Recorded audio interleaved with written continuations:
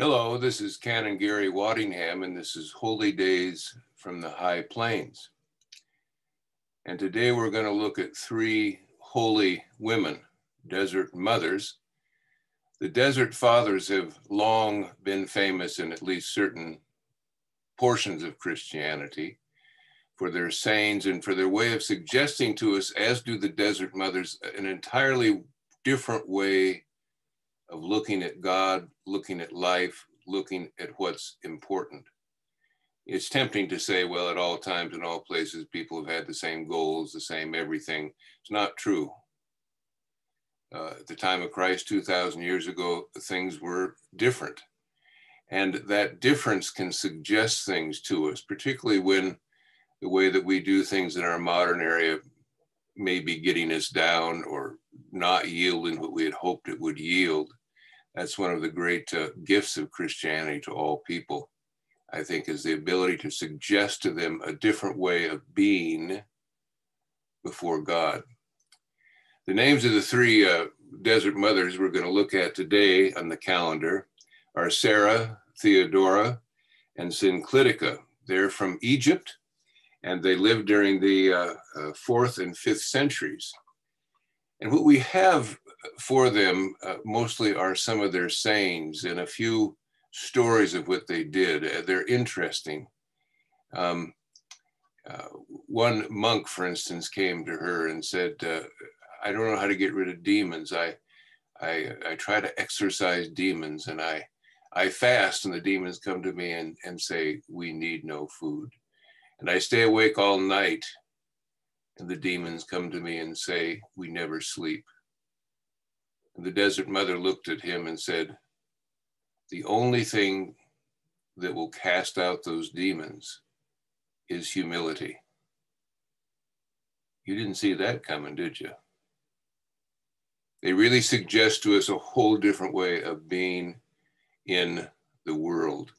The picture behind me, by the way, is St. Jerome, one of the great fathers of the church, who in his spare time translated the whole of scripture from Hebrew and Greek into Latin, the basis for the Vulgate. And of course, women, holy women, had to battle some of the things that women have had to battle at all times and places. A great many of them, though, did in fact have money, which they gave away, like the men did before they went into uh, uh, either living by themselves in cave cells in the Egyptian desert or perhaps small uh, communities. In the beginning, most of them were solitary. Uh, there is a story of, of one of them, I think it was uh, uh Syncletica, that uh, she comes uh, to her cave and finds that there are some monks from one of the monasteries there. And, and uh, she offers them a very small basket of fruit. And they take it, take some out, and give it back to her. And uh, uh, she looks and finds that they had taken the bad fruit and left the good. And she said, Truly, you are the monks of the monastery that is known for its piety. Um, again, uh, uh, doesn't exactly impinge on our lives the way we think of things, but that's the whole point of it. They point some things to us and the sayings of the desert fathers and mothers in general, by the way, are wonderful kinds of things. I've related often the tale of the desert fathers when, uh, in one case, they all came together when one of them was dying, which they often did because there was a time for truth telling. And uh, one of the monks had uh, another monk that lived with him that always stole food from him.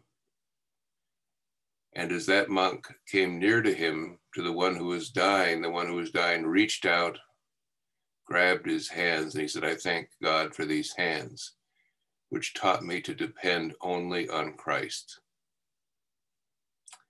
Wonderful thing. They gave us some things, a great richness that's for the whole of Christendom. Sometimes we like to think that the rules and the and the sayings of scripture, all those kinds of things, uh, are for each individual, but they're not. They're for the church. And the church is composed of millions of different individuals, and there is something there for everyone. There is a word of God there for everyone. And the desert mothers gave many of those words to us in this generation and to all generations to come. Let me conclude with evening prayer for this day, Thursday, the day of the feast of the Epiphany.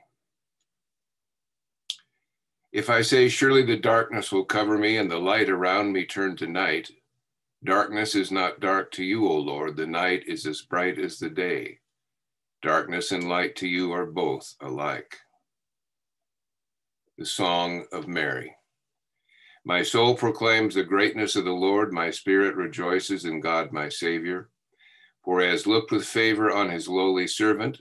From this day, all generations will call me blessed. The Almighty has done great things for me, and holy is his name.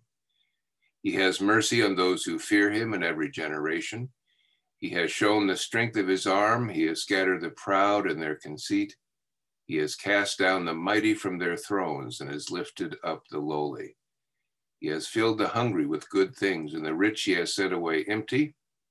He has come to the help of his servant Israel, for he has remembered his promise of mercy, the promise he made to our fathers, to Abraham and his children forever. Glory to the Father, and to the Son, and to the Holy Spirit, as it was the beginning, is now, and will be forever. Psalm 61. Hear my cry, O God, and listen to my prayer. I call upon you from the ends of the earth with heaviness in my heart. Set me upon the rock that is higher than I, for you have been my refuge, a strong tower against the enemy. I will dwell in your house forever. I will take refuge under the cover of your wings. For you, O God, have heard my vows. You have granted me the heritage of those who fear your name. Add length of days to the king's life. Let his years extend over many generations. Let him sit enthroned before God forever. Bid love and faithfulness watch over him. So will I always sing the praise of your name, and day by day I will fulfill my vows. A reading from 1 Corinthians the 15th chapter. But in fact, Christ has been raised from the dead, the first fruits of those who have died. For since death came through a human being, the resurrection of the dead has also come through a human being. For as all die in Adam, so all will be made alive in Christ. Our Father, who art in heaven, hallowed be thy name. Thy kingdom come, thy will be done on earth as it is in heaven.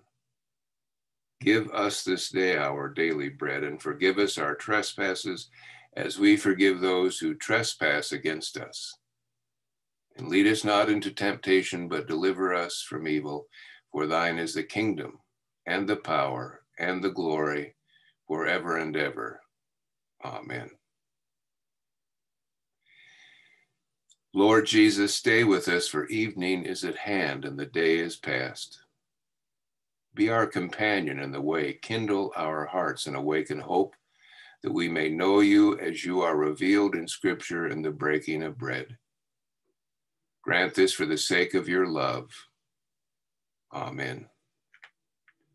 May the God of hope fill us with all joy and peace in believing through the power of the Holy Spirit. Amen. God bless and keep you this evening and this night and all the rest of the days of your life.